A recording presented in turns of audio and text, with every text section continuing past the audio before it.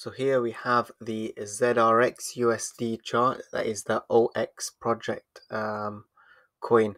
Uh, see here on the weekly outlook. Uh, outlook um, here's the trend. is looking is currently trading at all-time high regions, uh, much more than when he was actually released. These are the times where I entered the market. Um, so over here, what's happening is, as I said, it's, it's new territory for this crypto don't know what's gonna happen. Um, if you if you do want to get part of it, you want to join in.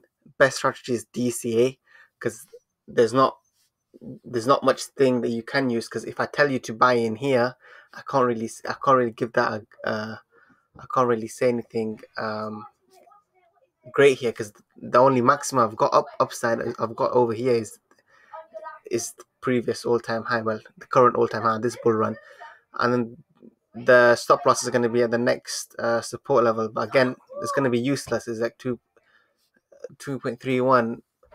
It's not. I don't think it's worth the risk to be honest. Um, because the downside, uh, the downside risk is too much. Uh, but if you do want to get part of this, uh, the best strategy is DCA because it could go higher. Remember, this is a bull run. It could go higher. Another indicator is looking a bit um a bit weird for this chart is um, the RSI. So it's telling you it's uh, severely overbought. If you look at it, it's about um, like 95%.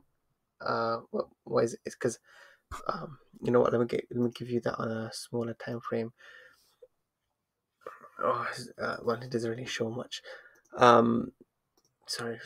Yeah, actually looks fine to be honest on, on the on the daily.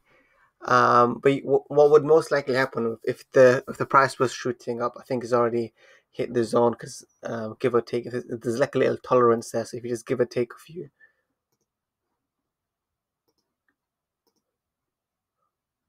Uh, so about there.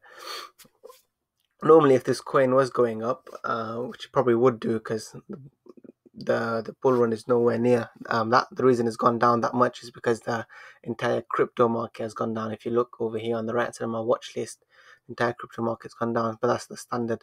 Uh, but if it was if it was if that was the case, then what happened is it come down here and it just bounce right back up and carry on going, unless there is a significant reason for it to break through and come down.